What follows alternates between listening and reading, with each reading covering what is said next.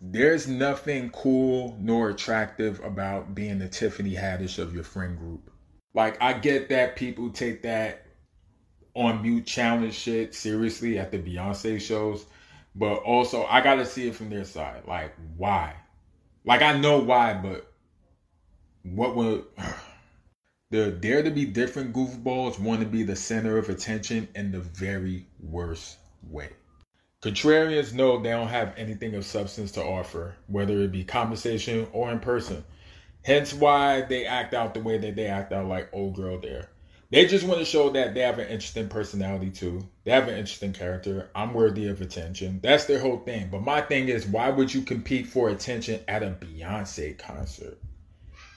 You think those people paid tickets just to see you make an ass of yourself? Or they just paid attention to that entertainer, singer from Texas that they like oh so much. It damn sure wasn't for you. It definitely would have been a quiet ride home because old girl would have been hitchhiking her ass all the way back home. Just not with me. People thirsty for attention remind me of Stuart from Mad TV.